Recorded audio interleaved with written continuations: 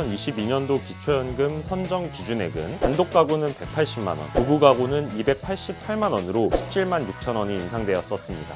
2023년도에는 무조건 다시 신청해 보시는 것을 강력히 추천드립니다.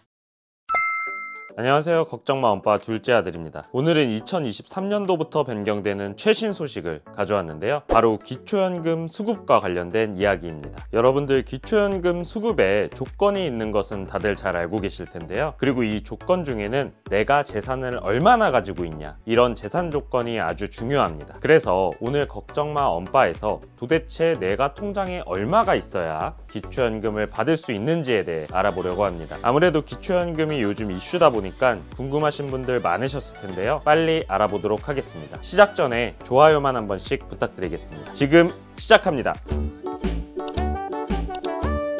기초연금을 받기 위해서는 몇 가지 조건을 먼저 따져보아야 합니다. 그 조건에는 금융소득, 기타소득, 사업소득이 있는데요. 먼저 다른 재산은 없다고 가정하고 통장 잔고에 얼마까지 있어도 기초연금 수급이 가능한지를 2022년과 23년으로 나눠서 설명드리도록 하겠습니다. 먼저 소득 인정액이란 개념부터 알고 가셔야 하는데요. 소득 평가액과 재산의 소득 환산액을 합산한 금액입니다. 소득 공제액은 근로소득에서 기본 공제액인 103만 원을 공제 한 금액에서 30%를 추가 공제한 금액이 먼저 있고요. 여기에 사업소득, 재산소득, 공적 이전소득, 무료 임차소득을 합한 금액입니다. 조금 어려우시죠? 그냥 지금 듣고만 계시면 제가 나중에 한꺼번에 계산해 드리니까 걱정하지 마시고 조금만 더 따라와 주세요. 그리고 재산의 소득 환산액은 보유 재산을 월 소득 환산액으로 변경시킨 개념입니다. 계산은 어차피 자동으로 되니까요. 개념만 알고 가시면 됩니다. 그래서 결론적으로 2022년도 기초연금 선정 기준액은 단독 가구는 180만 원, 부부 가구는 288만 원으로 2021년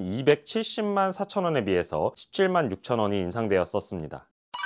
그럼 소득의 범위는 어떻게 될까요? 소득은 앞서 말씀드렸듯이 사업소득, 재산소득 등이 모두 포함되는데요. 그래서 개인의 소득과 재산을 포함해서 계산을 해야 되지만 각자 상황을 정확히 알기 어렵기 때문에 기타 소득은 없다고 가정하고 말씀드릴게요. 그러면 결국 2022년에는 단독 가구는 금융재산이 5억 6천만 원 이하면 기초연금을 받을 수 있었습니다. 만약 4억 6천 5백만 원 이하의 금융재산이 있다면 감액 없이 30만 7천 원 전액을 지급받을 수 있었습니다. 4억 6천5백만 원 이상의 금융재산이 있다면 감액되어 지급이 되고 5억 6천만 원이 넘어간다면 기초연금은 지급되지 않았습니다. 이번에는 부부가구인데요. 부부가구의 경우에는 통장에 8억 8천4백만 원 이상이 있다면 기초연금이 지급되지 않았습니다. 7억 3천만 원까지는 부부 연계 감액이 적용된 49만 2천 원을 지급받을 수 있지만 7억 3천만 원 이상부터는 감액되어 지급됩니다. 그리고 8억 8천4백만 200만 원 이상이 넘어간다면 기초연금이 지급되지 않았습니다. 2023년에는 기초연금 선정 기준 금액이 변경되는데 확정 금액은 12월 말에 발표가 됩니다. 작년에는 30일이었습니다. 전년도 상승폭을 기준으로 금액을 추정해 보면 1인 가구 금액은 192만 원 정도가 예상이 됩니다. 그리고 부부 가구 기준 금액은 307만 원 정도가 예상이 됩니다. 이 금액으로 통장 잔액 최고액을 계산해 보니 단독 가구는 5억 9,600만 원 정도가 됩니다. 그리고 부부가구 통장 잔액 최고액은 9억 4,160만 원 정도가 된다고 추정됩니다.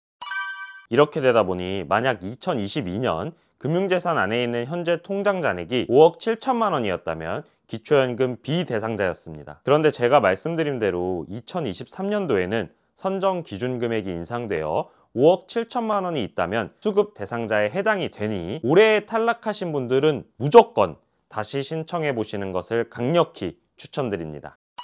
지금까지 제가 금융재산만으로 한정해서 설명드렸기 때문에 현재 보유액에 대한 이자 소득이나 배당금, 주식 보유, 주택이 포함된다면 감액되어 지급되거나 달라질 수 있는데요. 재산이 있어도 통장 잔액에 영향을 주지 않고 기초연금을 받을 수 있는 재산을 말씀드려 볼게요. 공시가액 기준으로 대도시는 1억 3,500만 원, 중소도시는 8,500만 원, 농어촌 지역은 7,250만 원의 재산이 있어도 통장 잔액에 영향을 주지 않는다는 점도 알아두세요. 기초연금을 받기 위한 금융재산의 조사는 입출금 통장의 예금을 통해 이루어지는데요. 최근 3개월의 평균 잔액과 정기예금 적금 등에 납입한 액수, 주식 최종가액, 보험금 해지 환급금 기준 같은 것이 금융재산에 포함됩니다.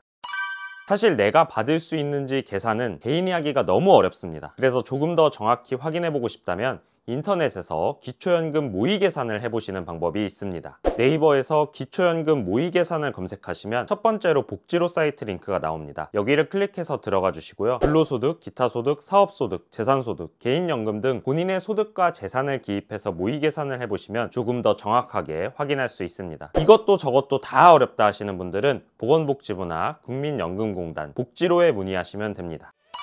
오늘은 2023년에 새롭게 바뀌는 기초연금 통장잔액 기준에 대해서 알아봤습니다. 혹시 궁금한 점이 있으시다면 댓글로 꼭 남겨주세요. 저희 채널에 큰 힘이 되는 구독, 좋아요, 알림 설정 꼭 부탁드립니다. 감사합니다.